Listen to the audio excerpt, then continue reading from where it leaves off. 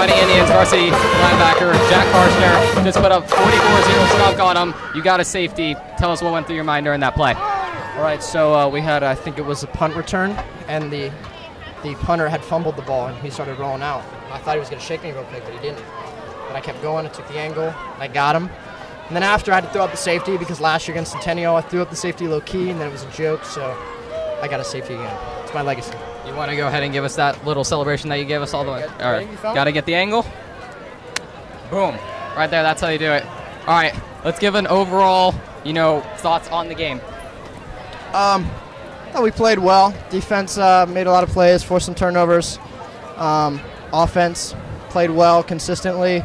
Uh, the first half was, I mean, obviously a blowout. The second half, we just were rarely on the field. So um, I think we played well. It was a good team victory, and we're ready to go for uh, next week. Thank you for your time, Jack. Okay, we're here with the Fighting Indians head coach Lane Jankowski. Coach, another dominant victory. Your thoughts?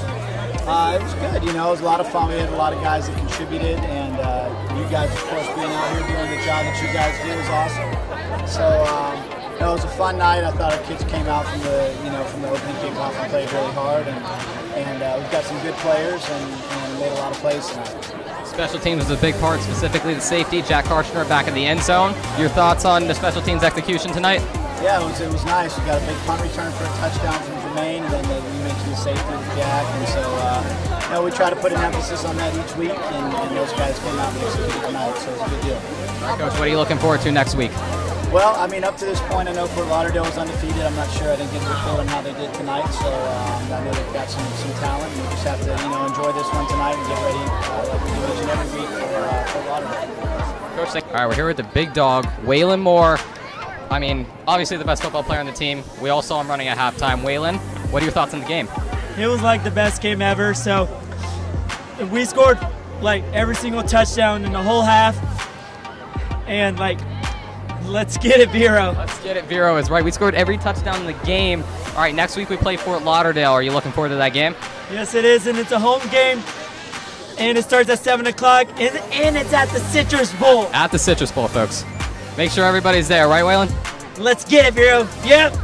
Thanks, Waylon. You're welcome. All right, we're here with Vero Beach Fighting Indians starting quarterback Nick Siladonio. Nick, great performance from you. Great performance from the team overall. Your thoughts on the game? Uh, our defense played really well. We had a lot of possessions that started inside the 30, inside the 25, and uh, we really just executed on offense. Anybody you want to give a special shout out to on the team who you think did a good job tonight? Uh, Waylon, Waylon had a great performance. Waylon definitely, uh, good job, son. We just got done interviewing him. Big game for Waylon Moore, obviously. The best player on the team. I mean, everybody's mind. Uh, Jack Karshner sliding into the background now.